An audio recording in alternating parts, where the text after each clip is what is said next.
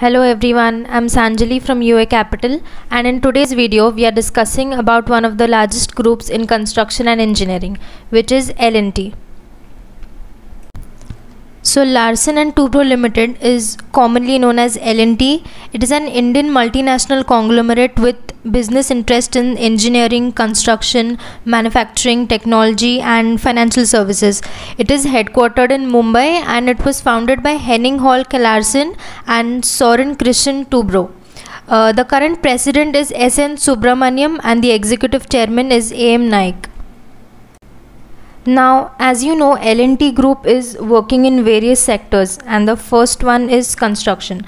So, L&T Construction executes projects across the entire infrastructure spectrum with a single source responsibility. Then the next one is uh, hydrocarbon engineering. So L&T hydrocarbon engineering has offerings through its business verticals which spans the entire hydrocarbon chain for oil and gas processing then petroleum refining chemicals and petrochemicals fertilizer sectors etc now the next one is power. So L&T Power's transmission and distribution is a business vertical that offers integrated solutions and end-to-end services ranging from design, manufacture, supply and constructing to commissioning in the field of over high voltage transmission lines, substations and distribution projects including railway electrification and project ele electrification in domestic and international markets as well.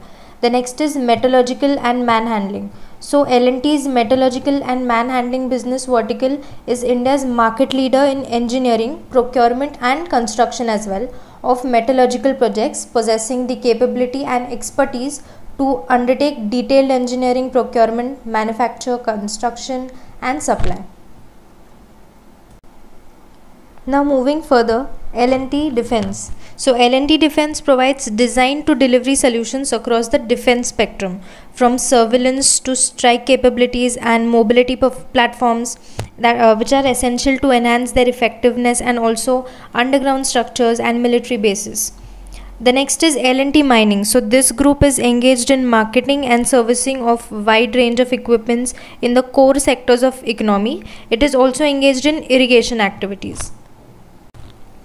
Now the next one is L&T Valves. So L&T Valves leverages its heritage of excellence that spans over 6 decades to manufacture valves for key sectors of the economy such as oil and gas, power, petrochemicals, chemicals, water as well as defense and aerospace. Then the next is L&T Financial Services. Now, uh, this company is engaged in various financing activities like two wheeler finance, micro loans, housing finance, mutual funds, etc.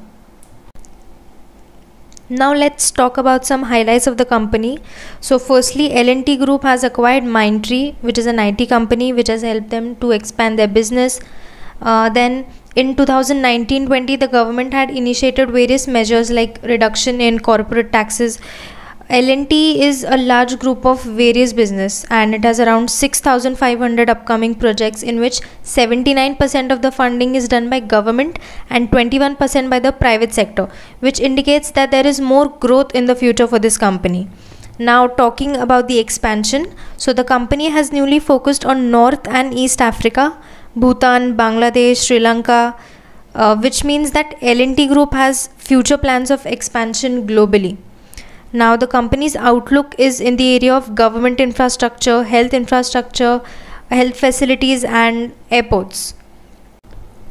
Now, talking about the digital transformation, so uh, the company has newly adopted some technological changes like asset insight which connects the equipment platform that acquires data from construction health and operations which includes ai and machine learning and provides insights to projects helping them to give a better outcome and increase productivity as well as capacity utilization now let's go to the performance of the company so in this diagram we can see the comparison of EPS and DPS which is earning per share and dividend per share.